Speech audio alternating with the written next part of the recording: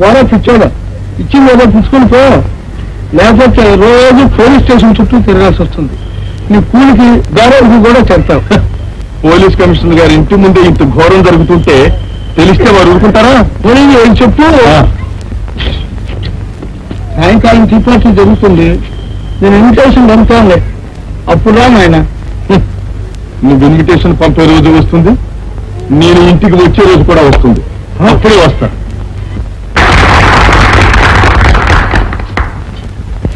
Ladies and gentlemen అసలు ఈ పార్టీలు అవి అంటే నాకు అంతగా ఇష్టం లేదు.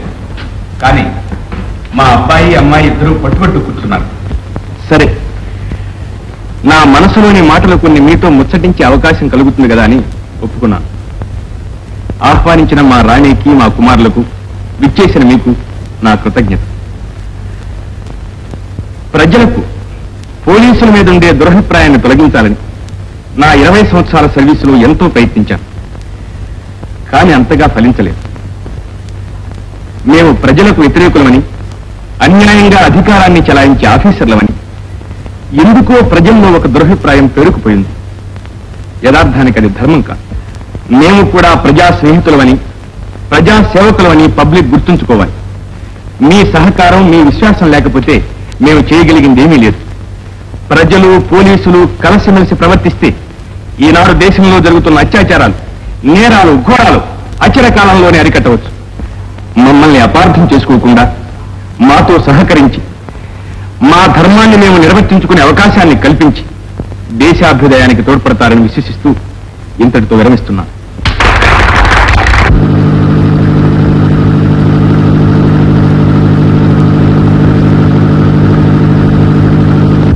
పట్టు పట్టరాదు. పట్టు పట్టరాదు. పట్టి విడవరాదు. పట్టి విడువరాదు.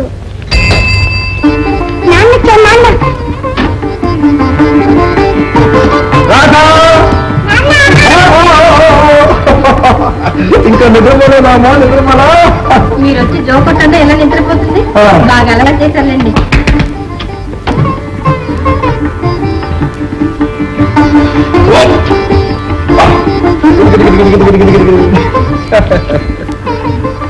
లక్ష్మి మోహన్ ఫోన్ చేశాడా?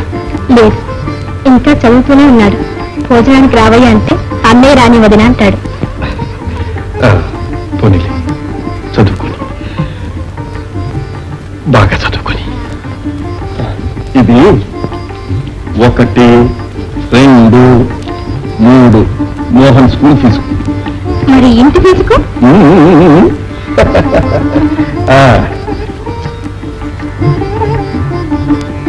రూపాయి చిల్లర మిగిలింది సరిపోతుందో లేదో.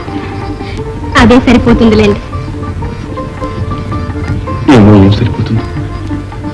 దేవుడిచ్చినంతలో లేదనకుండా పొదుపుగా సంసారం దిద్దుకొస్తాను నువ్వు నిజంగా దేవత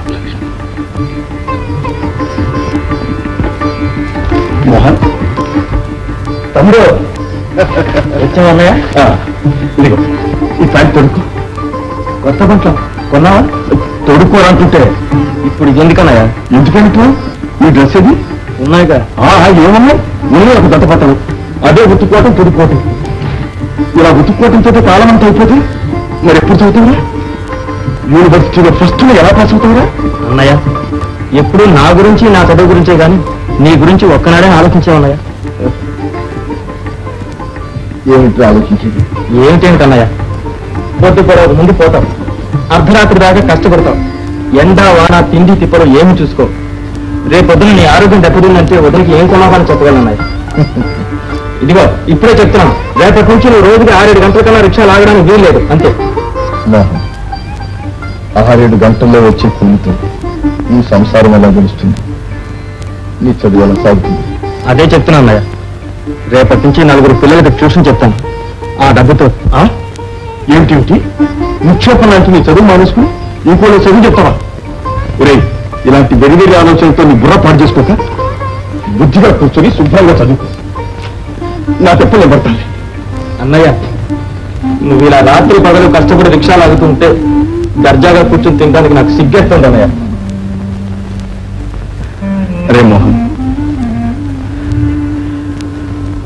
నువ్వు సుఖపడితే నేను సుఖపడ్డట్టు కాదా.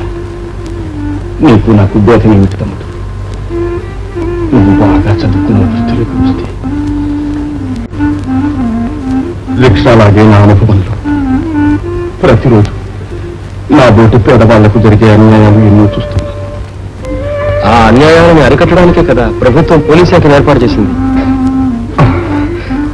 నువ్వు బాగా అభివృద్ధిలోకి వచ్చి ఒక పెద్ద పోలీస్ ఆఫీసర్ అయితే నా బోటి పేదవాళ్ళకు జరిగే అన్యాయాలు ఎదుర్కొని వాళ్ళకి ఎంతో ఉపకారం చేయొచ్చు తమ్ముడు.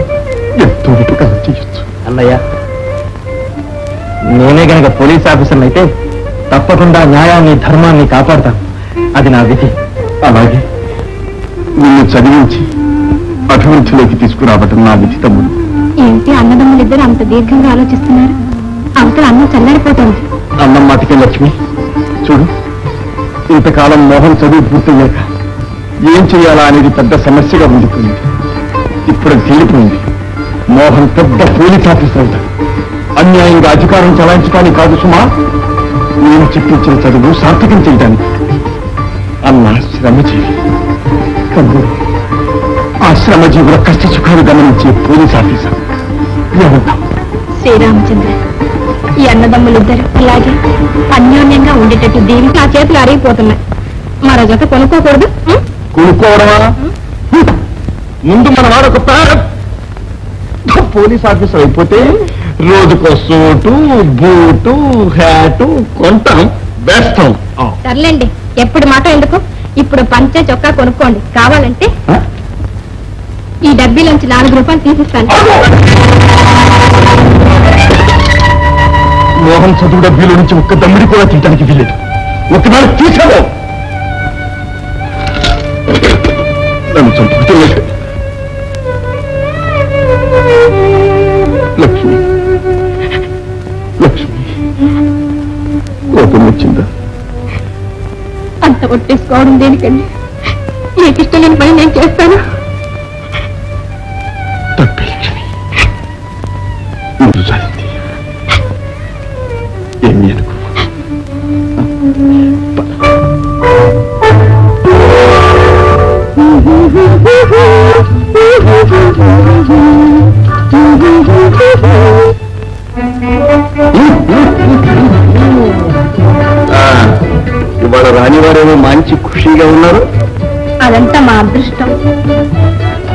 ఆటే బిట్టు చేయక అసలు విషయం ఏమిటో చెప్పుదురు. మన ఇంటికి. కొద్ది రోజుల్లో మొత్తం నుంచి వస్తున్నా సత్యవరా భగవంతుడా. కరువు అధిక మాసమని మీ పుట్టింటికా నుంచి బంధువుల్ని ఎవరైనా దిగుమతి పరాచికారు ఆగు ఆగు ఆగు ఆగు. చెప్పు చెప్పు. మరి ఇంకా ఏడెనిమిది మాసాలు పోతే? ఆ వచ్చే బంధువులు ఎవరో మీకే తెలుస్తుంది.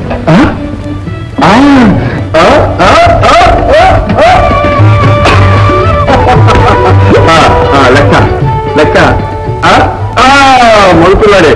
మగపిల్లాడే. అంతా మీ ఇష్టమేనేమిటి మరేమిటనుకున్నావు? ఇది లెక్క మజాక? రాధా! మోహన్! ఏమిటో అలా అరుస్తారు? ఆల్ ఇండియా రేడియో లాగా. అందరూ వినాలేమిటి నాన్న? ఎందుకు పిలిచానన్నా అదేనమ్మా. ఈ రోజు నీ పుట్టినరోజు పండుగ కదూ? అందుకని నాన్నగారు నీకేం కావాలని అడుగుతున్నారు. పెద్ద బొమ్మ కావాలన్నా? అబ్బో. పెద్ద బొమ్మ రావడానికి ఇంకా కొంచెం కాలం పడుతుందమ్మా. ఈలోగా చిన్న బొమ్మ తీసుకొచ్చిస్తా. వదినా నాకేమో టెన్నిస్ మ్యాచ్ ఉంది. వచ్చేసరికి కొంచెం ఆలస్యం అవుతుంది. వస్తానయ్యా. లక్ష్మి చూసావా మా వాడు పెద్ద ఆఫీసర్ లాగా ఎంత దర్జాగా ఉన్నాడో. బేష్.